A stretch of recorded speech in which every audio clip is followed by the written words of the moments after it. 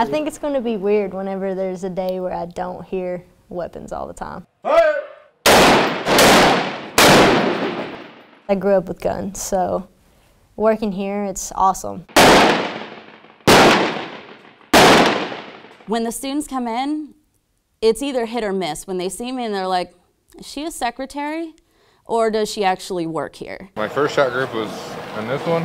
Out of all combat arms instructors in the Air Force, approximately 5% are women. But don't let that number fool you. These women are as good of a shot as any. I hold my own. I will leave it at that. Most people do not talk back, and bets are usually lost. We're all about even. I'm a pretty good shot, though.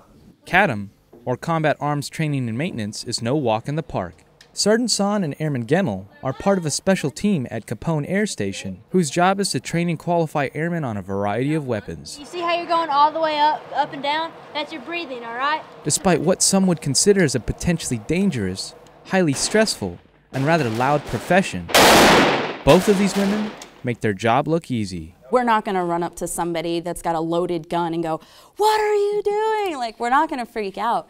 We're so laid back, we're relaxed. It's a good environment to learn in. Go ahead, step up and lay behind your weapon in the prone supported position. I'll show them how to properly, you know, handle the weapon, how to shoot the weapon, all that fun stuff, and then we'll go up on the range. And like you saw earlier, we'll get down to the nitty gritty, and, and hopefully everything goes goes good. Good job. Just concentrate on your breathing a little bit more, okay? okay. That way we can get these two shots right here. You're influencing people's lives and teaching them something that could save their lives or someone else.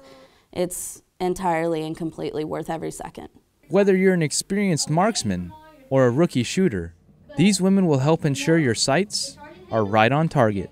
Airman First Class Austin Siegel, Ramstein Air Base, Germany.